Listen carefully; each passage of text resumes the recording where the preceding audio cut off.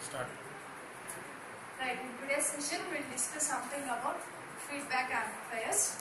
In the previous session we have discussed uh, what is all about feedback, right? So, in detail, uh, if we want to describe something about feedback, what I can say is that feedback is nothing but the process of adding some portion of output to the input.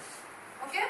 So, process of adding a portion of output to the input is called as feedback what is or where is the output taken for this feedback amplifier? The output is taken at the amplifier. Simple, we will be taking a simple basic amplifier. The amplifier output, amplifier output is again connected to the input of the amplifier. This, this process is called as feedback. So in this process of adding or else in this process of injection of the output to the input, we may take or the injection may be adding to the input or else to the amplifier or else it may be opposing the input of the amplifier. So in that case, we find two kinds of feedback. First one is positive feedback and the second one is negative feedback. What when we say the feedback is positive is if the signal or the feedback signal is in phase with the amplifier then it is called as positive feedback. Or if the output or the feedback signal that is taken from the output of the amplifier is opposing the amplifier output then it is called as negative, feedback. Okay? The positive feedback we say that the output and input are in phase to each other and in the negative feedback we say that output and input are out of phase with each other. The other name for positive feedback is regenerative. positive feedback is also called as regenerative feedback. Regenerative feedback. And negative feedback degenerative feedback. Negative feedback is called as degenerative feedback. Regenerative Okay? Right. So, regenerative and degenerative. So, in, in general case, we generally prefer uh, one kind of feedback for one type of circuits and one kind of feedback for the other kind of circuits. So, the most commonly used uh, feedbacks is negative feedback. In general case, for any transistor amplifier, we generally prefer for we generally prefer negative feedback.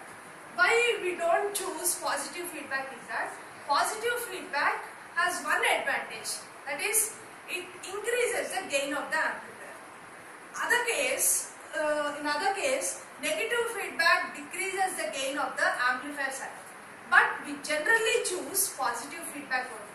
What is a need? Uh, though it is having negative, uh, uh, one negative uh, point, like it has uh, this one, it has increased in gain. The output of the amplifier circuit or the output gain is high for positive feedback, but then we choose negative feedback. What is the reason? The reason is that negative feedback, though it has uh, less output gain, it has some other features like it has reduced distortion and reduced noise levels.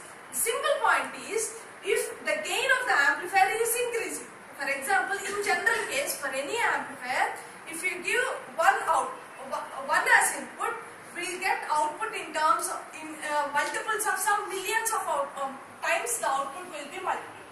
So in any case, if we are taking an amplifier, if you give one as an input, we may get uh, the be multiplied some millions of times. So in, that case, the gain of the amplifier is increasing. But at the same time, the noise levels are also amplified and distortion levels are also getting amplified. So this is the major disadvantage of positive feedback. Though the gain is increasing, it has uh, uh, ill effects. Uh, we can say that it has an ill effect of increasing the noise and also increasing the distortion. So this may distort the output of the um, amplifier circuit. So in that case, we generally prefer negative feedback. Though negative feedback has, is reducing the gain of the amplifier, it also reduces, the, uh, as the gain is reducing, it reduces the noise and it also reduces the distortion. So this has been the major point or uh, this has uh, this is the crucial point for choosing the negative feedback for most of the amplifier circuits. In general case, almost all the amplifiers are based upon the feedback or degenerative principle concept. Okay? Because the noise levels are decreasing, distortion is decreasing and at the same time it has some other advantages like the bandwidth is increasing and at the same time input and output uh, impedances levels are moderately maintained. These all these factors made the negative feedback uh, uh, more important than positive feedback. You may think that positive feedback may not be used in any electronic circuit. This is also used in some of the electronic circuits like in oscillators which we are going uh, to discuss in the next unit. So in that uh, uh, uh, oscillator circuits we prefer positive feedback. In almost all the amplifier circuits we use negative feedback especially in oscillator circuits we go for positive feedback. So uh, uh, this is a major these are the major advantages uh, what we see for negative feedback and this is the reason why we generally prefer or we go for negative feedback circuit in almost all the electronic circuits. Okay, can we summarize the points what I have told you? Uh, like for negative feedback we have the advantages of it has it reduces the gain and it, has, reduces the gain. And in turns it reduces the distortion levels and also reduces the noise levels. And increases It the bandwidth. increases the bandwidth and also it maintains the impedance impedance moderate moderate levels. So these are the major advantages for negative feedbacks, uh, negative feedback circuit. So most of all, almost all the electronic circuits are based upon this concept that is negative feedback circuit.